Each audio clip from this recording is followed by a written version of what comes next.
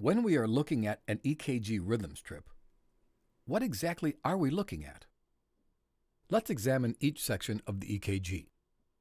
Let's start with the EKG graph paper. Panel 1 of the Pocket RCAT for Arrhythmias illustrates all the EKG rhythm waves and cardiac intervals with their relationships to the EKG graph paper. This graphic illustrates the EKG paper that consists of horizontal and vertical lines that form a grid. The distance between each small box is 0.04 seconds, or the same as 1 millimeter. Time is measured horizontally, with each small square representing 0.04 seconds. Amplitude, the force of electrical impulse, is measured vertically with each small square equaling 1 millimeter. One large box measured horizontally is 5 small boxes times 0.04, equaling 0.20 seconds. One large box measured vertically is 5 small boxes times 1 millimeter, equaling 5 millimeters. The EKG badge is designed and calibrated to accurately measure all cardiac intervals. The calibrated red boxes on the EKG badge make it simple to accurately measure cardiac intervals without the need to tediously count little boxes.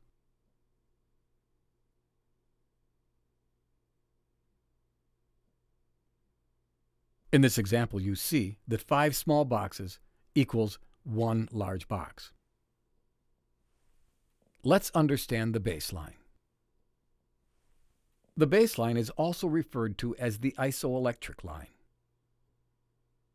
The baseline represents the absence of electrical activity. All cardiac waveforms and intervals begin and end at the baseline. Here we'll illustrate measuring electrical amplitude using the EKG badge. The EKG badge, with the clear window and the red baseline, lets you view the entire complex for ST changes or ST deviation. Now, let's examine the cardiac intervals of the EKG complex. To measure the cardiac intervals, we use the P, Q, R, S, and T waves. Depending on the leads, the Q wave may not always be visible, and the S wave may or may not extend below the baseline. Now let's take a look at what the waves and cardiac intervals represent, starting with the P wave. The P wave represents the electrical depolarization of both the right and left atrium, traveling down the internodal tracts to the AV node. Repolarization of the atria is usually not seen on the rhythm strip because it is buried in the QRS complex. Now we'll examine the PR, the QRS, the ST, and the QT segments.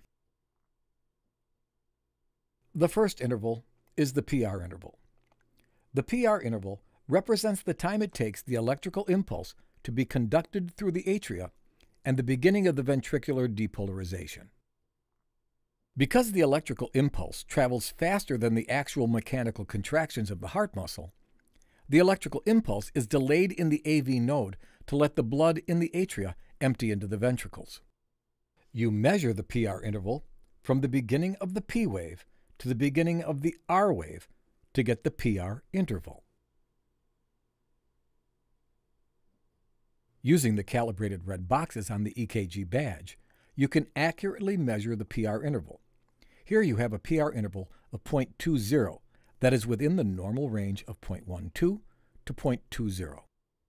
Now, let's look at the QRS interval. The QRS complex usually contains three waves. The Q wave is the first negative deflection following the PR interval.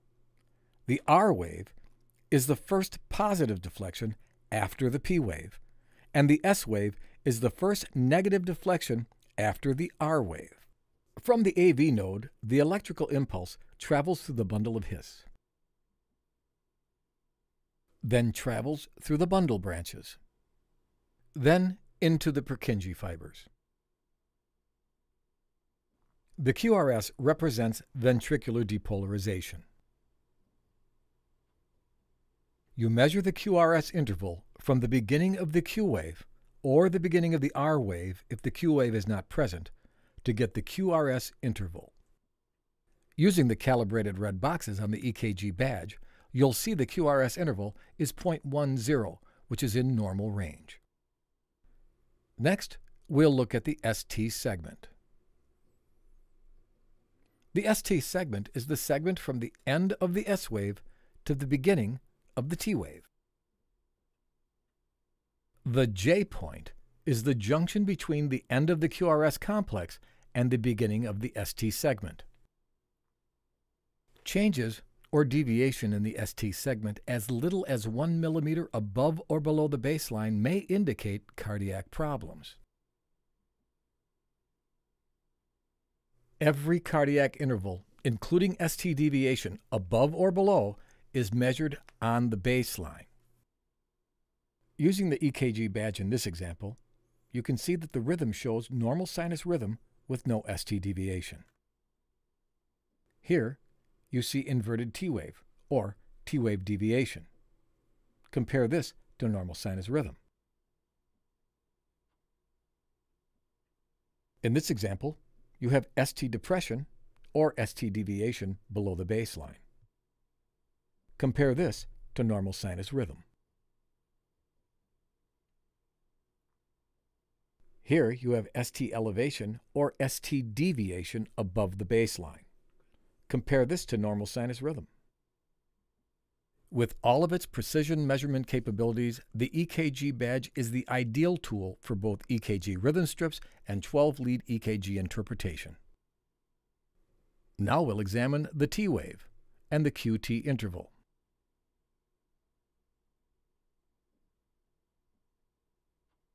The T wave represents ventricular repolarization.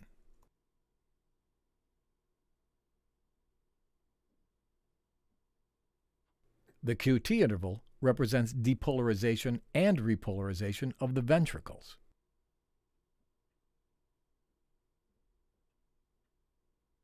Measure the QT interval from the beginning of the Q wave to the end of the T wave to get the QT interval.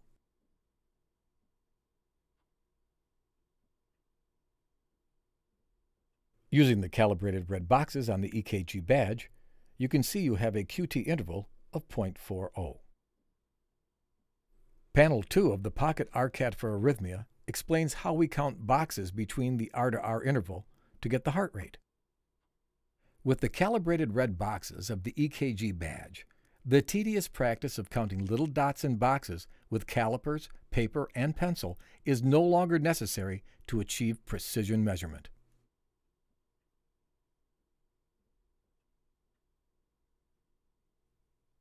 Even with a variable heart rate, you can see how easy it is using the badge to get accurate measurement.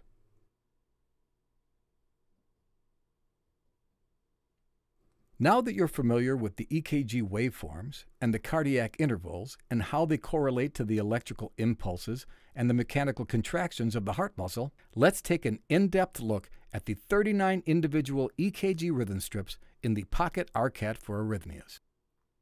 The EKG badge comes with two badge slots so it can hang horizontally or vertically behind your name badge. EKG Concepts Developing precision educational tools to improve medical confidence.